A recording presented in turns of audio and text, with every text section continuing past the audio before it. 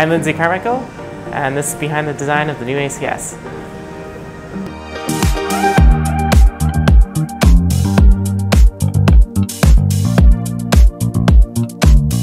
I think especially right now in, in this day and age, we're seeing more people uh, want to get into cans that aren't just your traditional craft beer customer. And you know, we've tried to you know listen to the market, what their needs are, and scale that into a, a solution that is going to work for everybody.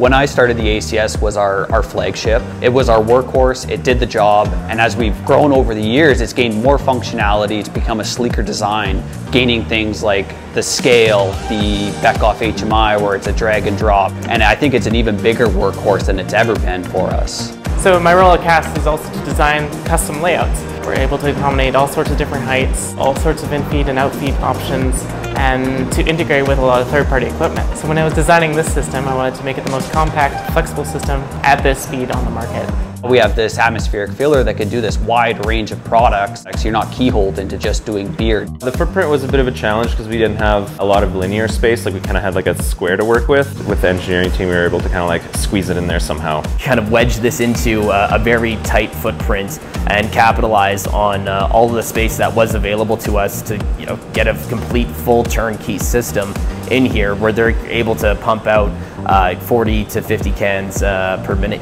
It's really important to have flexibility with carbonation levels. What I really like about the CASK system is the ability to kind of control foam on beer with low carbonation and also the ability to kind of control breakout for high carbonated beers as well. We have some seltzer customers and some tonic water customers that are successfully canning in, uh, in those low three volumes of CO2. It's the most flexible seamer we've ever designed.